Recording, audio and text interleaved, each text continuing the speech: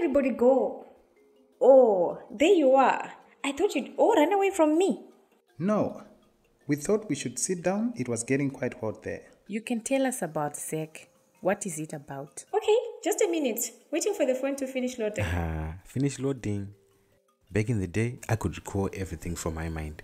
We didn't have these phones to help us. I was very smart. I knew everything. Since you know everything, Grandpa, why don't you tell us what ZEC stands for? Zek, Zak, that's uh, Zanu, no, Zimbabwe. Oh, stop teasing him already. Tell him he doesn't know. Oh, I just have some bad memory these days. Probably some bad sectors in my brain. I just, You just need a minute to finish loading. never mind. Please go ahead. Tell us what it stands for. It stands for Zimbabwe Anti-Corruption Commission. I knew there was a Zimbabwe somewhere in there. Shush! ZACC is an institution that combats corruption and crime. I love it. Tell us more about this sick. It's Zek. Right, right, Zek. Its main functions are to investigate and expose cases of corruption in the public and private sector, which includes theft, misappropriation, abuse of power, and other improper conduct in these sectors. Interesting.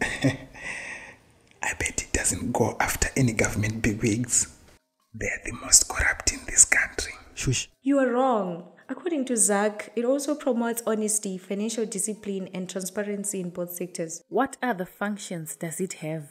The Commission has the mandate to educate us, the members of the public, on the effects of corruption. It also assists in formulating policies or practices to tackle corruption. Ah, okay. What kind of practices have already been implemented? This past September, ZACC developed and launched a mobile application which allows the public to report corruption anonymously. So you mean to tell me Zek actually considers complaints from ordinary folks like us?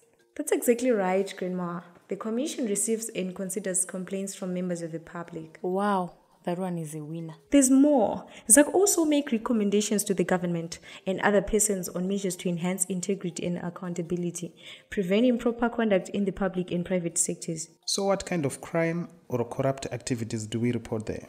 All sorts of crimes, Uncle. Could be any crime. Grandpa, you know everything. Give us an example. Gold. Gold smuggling. What else? Misappropriation of public funds. And abuse of office. So, Grandpa, we've learned about corruption and its effects and how we can report corruption, and we know where to report it. Is there anything else you still want to know? Well, I think it really helped your uncle and grandmother, as I already knew everything you talked about. So, eh, maybe these guys have questions, not me. Thank you, my dear, for the engaging lesson about the Zimbabwe Anti Corruption Commission. You're welcome. Class dismissed. Well, it's been good chatting with you people. I best better get back to the funeral now. Yeah, sure. I might as well join you. Instead of discussing football and beer there, educate others as well. I'm not making any promises.